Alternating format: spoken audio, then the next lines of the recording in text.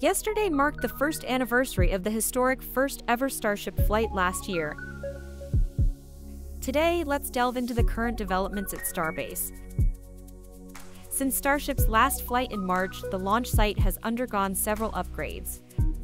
Crews have replaced the booster quick disconnect hood, damaged during IFT-3. We've also observed efforts to replace or modify the hold-down clamps on the orbital launch mount.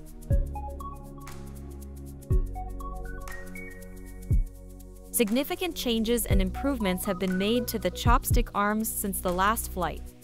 These arms, integral to the launch tower, are designed to catch both the booster and the ship for forthcoming missions.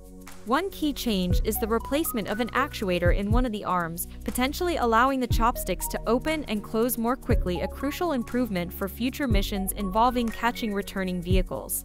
SpaceX has also been testing and refining the speed of the ARMS operations, demonstrating continued efforts to enhance their functionality and reliability. SpaceX has been scrapping vertical tanks to pave the way for new infrastructure, including preparations for a second launch tower. This process has been ongoing, with the shell of Tank 1 of 2 being removed recently. This shift suggests SpaceX may be moving towards a different propellant storage system or design, possibly utilizing more off-the-shelf horizontal tanks.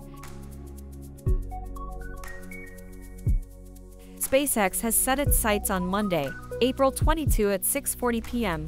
Eastern Time for the launch of its 41st mission of the year.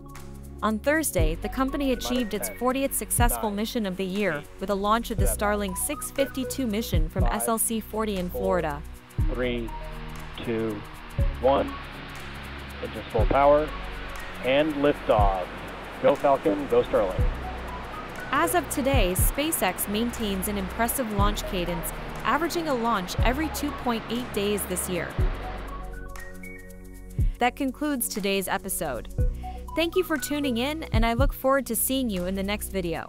Stay tuned and don't miss out on the exciting developments and updates from SpaceX.